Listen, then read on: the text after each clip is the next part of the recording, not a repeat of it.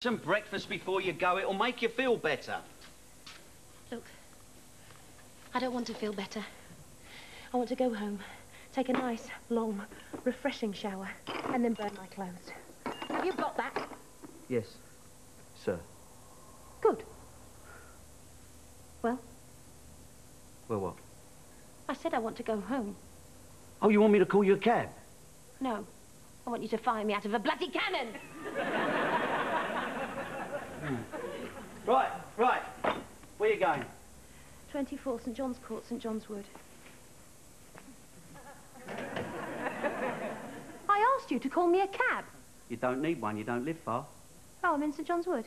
You're in St John's Court, number 23. You live opposite.